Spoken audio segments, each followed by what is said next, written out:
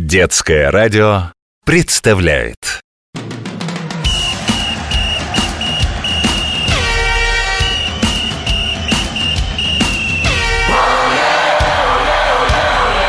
Спортивная программа.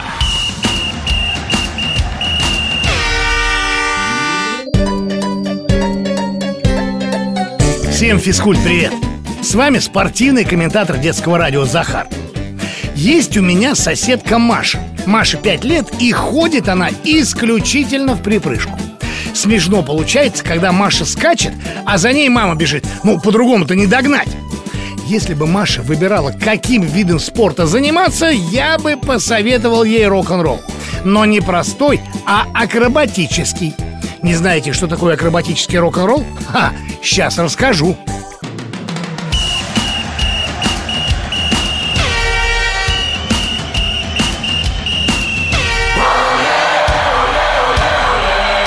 Спортивная программа.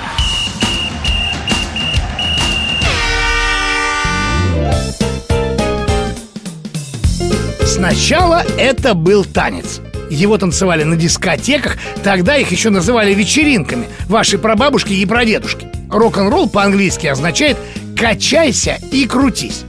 Юные прабабушки и прадедушки так и делали. Раскачивались, крутились, прыгали. Под какую музыку? А вот под такую.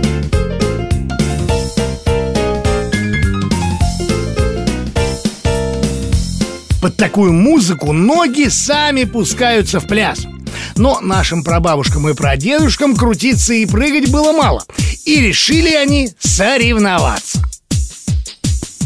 One, two, three, four, раз, два, три, четыре. Кто танцует всех быстрее, крутится, кто всех ловчее. Кто попрыгнет выше, достанет тот до крыши. Рок-н-ролл, танцует все кругом. Рок-н-ролл, ходит все ходуном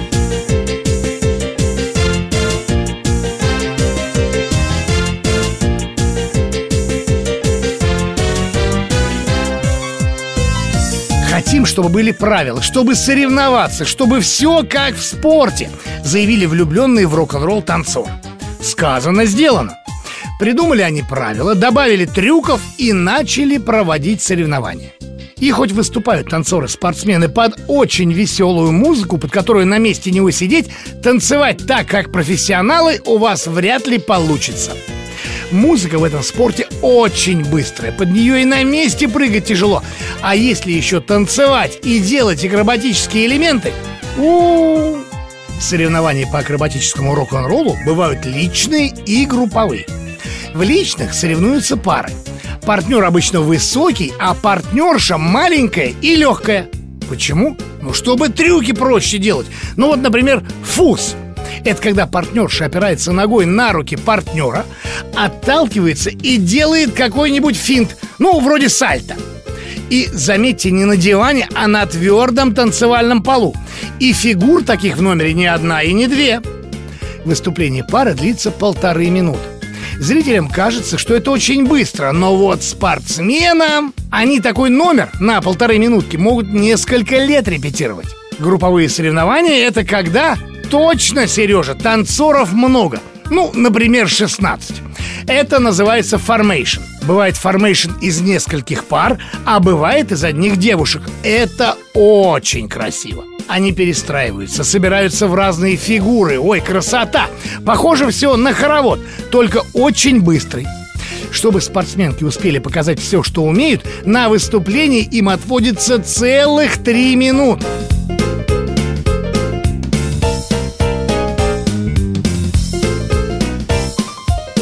Акробатический рок-н-ролл – это и танец, и спорт. Судьям приходится нелегко. Нужно и красоту номера оценить, как в танцах, и технику, как в спорте. Рок-н-ролльщики должны чисто делать трюки, двигаться как один человек и точно попадать в музыку. В общем, танцевать так, чтобы все, кто смотрит на трюки, сказали и чтобы сердце замирало.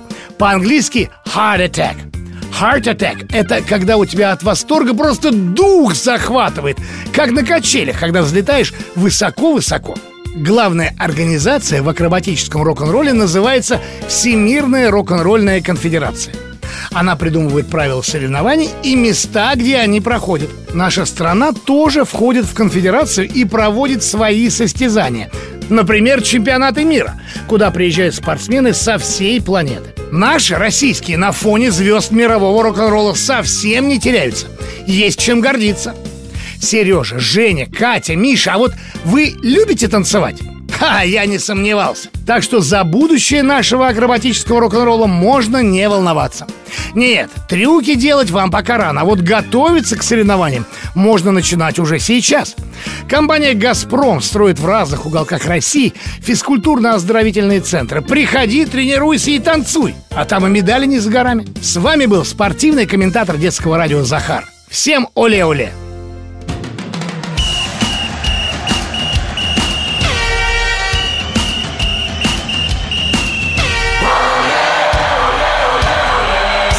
Спортивная программа.